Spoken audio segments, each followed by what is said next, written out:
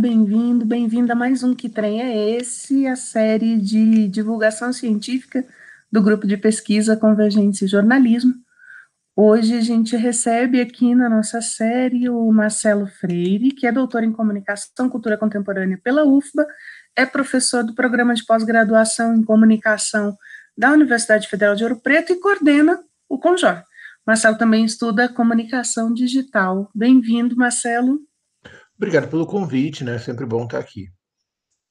Bom, na comunicação são feitos muitos estudos de interface. A gente discute muito isso, que a comunicação ela não é uma área independente, como nada na ciência é independente, né?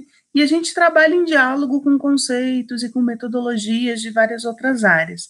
Na comunicação digital, muitos conceitos de outras áreas têm sido apropriados, adaptados, aplicados. Hoje a gente vai conversar com o Marcelo sobre um desses conceitos que é affordance. Mas o que será que é isso? Então eu te pergunto, Marcelo, que trem é esse? O que, que é a affordance? Affordance é um, é um conceito, né, uma ideia que veio junto com, com o conceito de usabilidade, né, foi conhecido a partir dessa associação, e o affordance vem do verbo afford, né, em inglês, to afford, que é permitir. Então, ele é, um, é uma área que vai avaliar o que é possível fazer com as coisas, basicamente, né? É, como é que a gente usa, qual é a função, como é que é a facilidade de aprendizado, o que está inscrito nos objetos que faz com que a gente consiga usá-los. E aí, a partir disso, entender quais são as apropriações, as ressignificações que esses objetos têm e as ações que a gente tem com eles. O conceito entrou na comunicação, a porta de entrada dele foi o design, mas ele tem se replicado na comunicação digital, ele tem vindo para os objetos digitais. Como é que está esse processo? A affordance ela, é, ela é utilizada na comunicação digital por conta de uma, percep de uma percepção maior, vamos dizer assim, de um crescimento da percepção que o dispositivo interessa, que o, tanto o suporte quanto as interfaces, né? Interface não no sentido de estudos de interface, mas da interface mesmo, né? Daquilo, daquilo que a gente olha é, e, e, interage, né? No, no, dispositivo, no computador, né? Na tela, vamos dizer assim. É, ele vem por essa área, assim, então ele vai vir no, com uma certa percepção que isso é importante, que isso é, cria uma certa mediação que, que interfere, direciona de alguma forma a, a, forma, o jeito como a gente percebe o, e consome né, os produtos digitais. E aí ele vai, ele vai chegar, como eu tinha falado, é, associado com o conceito de usabilidade para avaliar sites, vamos dizer assim. Né? A, primeira, a primeira entrada vai ser por ali, porque o conceito de affordance ele vem, ele chega na comunicação pelo Jacob Nielsen, né? pelo Nielsen, Norman Nielsen Group, a gente fala muito do Jacob Nielsen pensando na ideia de usabilidade, mas o outro, o outro nome dessa, desse instituto é o Norman, que é o Donald Norman, que é um, um designer que vai tentar sistematizar o, essa forma de escrever, né, de, de, fazer com que os objetos tenham em si uma, um uso predeterminado. Não só isso, mas quando você vai usar esse objeto, que se não deu certo, você tenha já um outro já pense num outro jeito de usar. Assim, todo mundo enfia, enfia o USB no, no computador e erra o lado. Então, por que, que você faz quando você erra o lado? Você enfia do outro lado. Então, você tem 50% de chance ali de, de conseguir acertar de primeira. Então, isso faz parte do, do mapa mental. Se você erra de um jeito, você vai tentar de outro.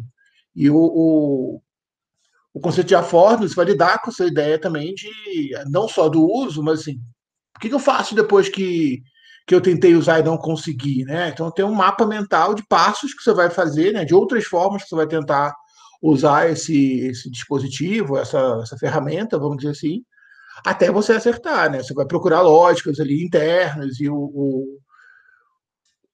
isso tem que estar ali no, no, no, objeto, né? O designer vai, vai assumir essa responsabilidade de, de fazer com que você entenda. Isso é muito tranquilizador, assim, sempre que você pega alguma coisa vai tentar usar e erra, a culpa não é sua, a culpa é do designer, que não deixou a instrução clara ali, ou não usou a, a forma é, mais intuitiva, vamos chamar assim, de, de uso desse, desse objeto. Mas a, o conceito de affordance ele vem, ele é apropriado pelo design, esse é o caminho de entrada para o campo da comunicação, mas ele vem da psicologia social originalmente, né? Com o J.J. Gibson foi o, o, pesquisador que criou essa, esse conceito a partir da percepção do ambiente, né? Então assim, ele começa com essa percepção do ambiente para qualquer animal, né? Não só humanos, é, digamos, como você consegue usar o ambiente a seu favor. Se um, um bicho ou uma pessoa vai subir um galho de árvore, tem que perceber se esse galho de árvore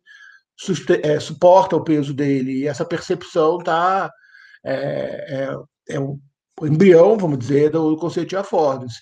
Aí depois ele é apropriado pelo design, se transforma em alguma coisa que o designer coloca no objeto, né, perde essa, essa, vinculação relacional, e a, e a, perspectiva mais contemporânea do conceito vai lidar com, com, um combo ali, um pouco de relacional e um pouco de, de inscrição. Então a gente tem é, uma affordance que está ali inscrita no objeto e nós temos formas de apropriação, né? É, como você falou. Existe, existem affordances que estão escondidas e affordances que estão mais explícitas quando a gente pensa é, nesse conceito aplicado à comunicação? Sim, tem, tem duas coisas que são muito importantes para a gente dentro do conceito da comunicação, né? Então, você pode pensar que um produto tem diferentes affordances para diferentes públicos, né? Então, se for pensar numa rede social, essa rede social vai ter uma, um portão de entrada, vamos dizer assim, para quem é usuário, né? Que está ali fazendo seu, comentando seus, seus conteúdos, postando suas coisas. Ele vai ter uma outra, uma outra interface, vamos dizer assim, para o mercado publicitário, né? Que vai, vai é, lidar com impulsionamento, direcionamento de público, e vai ter uma terceira interface ainda, que são para os desenvolvedores. Então, cada um desses, desses usuários pode fazer coisas diferentes com essa, é, com essa plataforma. E isso, para o campo da pesquisa, é, é, é fundamental para a gente entender. Entender assim, como são as, a, como funcionam essas plataformas. Né? Porque o usuário não tem a menor ideia que, é, que, que um conteúdo foi impulsionado, por exemplo. São affordances de diferentes usuários de diferentes públicos, vamos chamar assim, né? É, e você também tem a questão do, do, das affordances escondidas, né? Então, isso acontece muito com videogames antigos, que tinham códigos que você pulava fases, enfim. É, foram descobrir uma fase secreta de Mario Bros 30 anos depois, porque foi uma affordance escondida, uma brincadeira ali que o programador do jogo fez, é, que você só conseguia chegar naquela fase de uma determinada forma.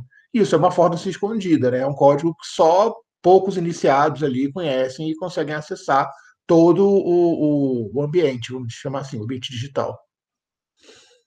Você falou uma coisa muito interessante. A gente estava falando até então em affordances de dispositivos, de objetos. A gente pode pensar também em affordances de plataformas? Como é que a gente pensaria, por exemplo, como você começou a indicar, affordance de plataformas de rede social ou de plataformas digitais específicas? Podemos, sim. O, a forma que vai funcionar é pensar em comunicação digital é uma coisa muito delicada, vamos dizer assim, porque poucas coisas são é, tácteis, são palpáveis, né?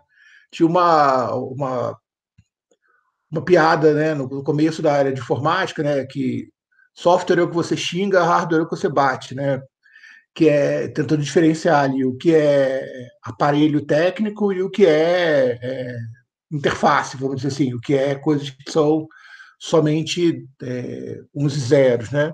Então você vai ter é, um nível de affordance que são de coisas tácteis, né? Um notebook, um, um telefone, um tablet, e você vai ter é, plataformas que são é, affordances que são do sistema operacional, vamos dizer assim, Android, iOS, é, e você vai ter as, as do, assim, dos programas que estão rodando nesses sistemas operacionais, que estão nesses é, dispositivos, nesses aparatos técnicos. Então, assim, sim, a gente pode pensar é, em affordances dessas plataformas de rede social.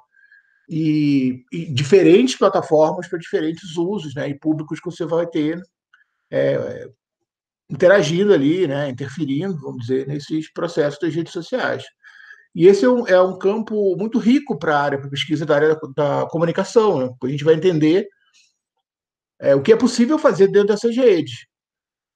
E o que é possível fazer dentro dessas redes é o que é possível medir, né? O que é possível a gente coletar depois e tentar é, ter como dado, né, retirado dessas, dessas redes, né, ou até assim, ressignificado de alguma forma. Eu ia te perguntar justamente isso. O que, que eu consigo descobrir quando eu estudo a affordance de plataformas digitais? Como, de outra maneira, como é que eu penso, como é que eu construo, como é que eu chego até um problema de pesquisa que envolva a affordance de plataformas digitais ou de objetos digitais? você pode olhar muitas coisas, né? Então, assim, primeiro passo é tentar, se fosse fazer uma pesquisa pura de affordance, né? Você ia tentar ver se uma plataforma é mais fácil de usar do que outra, né? Então, você é, não é só fácil de usar, mas assim, que público ela projeta? O que ela diz para o público dela, né? Os usuários que como eles devem operar? O que ela está tentando simular, né? Se você pega um, um Kindle, por exemplo, que é um leitor de livros digitais, ele vai ter uma estratégia ali de desaparecimento, né? Tipo, toda a interface vai desaparecer para que ele pareça mais uma, uma página de livro. Então você tem claramente ali o endereçamento, né? De para que, que aquele negócio serve, qual é a intenção daquele, daquela, daquela ferramenta ali. Então uma coisa é pensar, vamos estudar a forma dessa é, desse, desse dispositivo, desse aplicativo, para ver como ele, o que, que ele quer, assim, para que que ele, quem ele fala, né?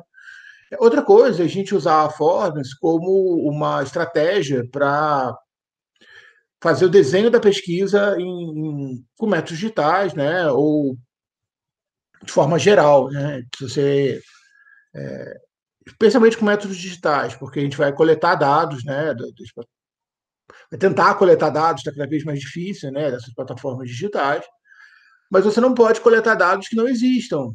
Então, é, se o Spotify não coleta é, informação de gênero sobre o, o, os perfis, você não tem como coletar esse dado de forma automatizada, porque esse dado não está lá. Você teria que tentar, de algum outro jeito, interpretar os nomes para ver quais são nomes de homem e quais são nomes de mulher, é, quais são definidos. Né? Então, assim, isso tem a ver com o desenho da pesquisa também. Você consegue fazer nessa rede social o que, você, que a rede social permita que você faça, no fim das contas. Né? Não, é uma, não é um olhar determinista no sentido de é, a tecnologia determina o que você faz, mas existem funções que estão predispostas nessa rede social e você, assim, você vai ressignificar, interpretar o que essas funções é, é, significam, né, e o impacto delas, mas você não você não consegue coletar o que não está lá. E ainda assim tem outras é, algumas restrições, tipo no começo você poderia coletar no Facebook, por exemplo. No começo você conseguiria pegar dados de tudo, né, de perfil, de páginas, de grupos, públicos e privados. Depois ficaram só das páginas, grupos, páginas públicas, né, e grupos abertos. É, então, se você vai fazer uma mineração de um grupo, é, pegar todas as falas de um grupo fechado, tem algumas ações que você teria que fazer. Hoje em dia é fechado, mas por muito tempo você teria que ter uma autorização dos administradores da página, ou você ser colocado como administrador para conseguir fazer isso. Então, isso é uma, é uma restrição, vamos dizer assim, é um, uma limitação que você tem que contar na hora da pesquisa. Senão você imagina que vai coletar todos os dados de um grupo fechado, esse grupo, isso não é possível fazer de forma é, a partir da API ou por conta da própria estrutura da ferramenta. E para a gente encerrar, você já falou aqui de vários desafios metodológicos. Você acha que o conceito de affordance hoje ele é naturalmente aplicado nas pesquisas em comunicação digital, mesmo quando ele não é, por exemplo, uma perspectiva teórico-metodológica por conta da natureza do objeto, ou isso não ocorreria? Olha, o, o conceito de affordance é um conceito que enriquece muito a pesquisa na comunicação, porque ele vai tirar o, ele vai tirar o foco apenas do, da interação, apenas do conteúdo que está postado ali, é, ele vai abrir um pouco o escopo para tentar pensar na natureza desse, desse suporte, né? Então, mesmo que ele apareça de forma contextual, assim, eu acho que ele é um conceito que ele poderia ser mais transversal na área da comunicação. Ele acontece muito, assim, de forma como uma barreira natural, vamos dizer assim. Você vai tentar fazer uma pesquisa, pesquisa sobre Twitter. É, vou medir, recote, retweet e menção. Porque é isso que é possível tirar da, da API. É, ou assim, então, ela acaba de. A, a ideia de affordance, mesmo que ela não apareça como conceito, ela acaba direcionando a pesquisa, porque ela, são as affordances dessas plataformas que vão permitir que você colete coisas ali, que você, que você meça, que você é, use as métricas né, das redes sociais, do, do Google, enfim, do, das ferramentas digitais, para conseguir coletar coisas, né? Para conseguir tirar dados ali, principalmente dados de, com volume um pouco maior, dados que não são feitos de forma manual.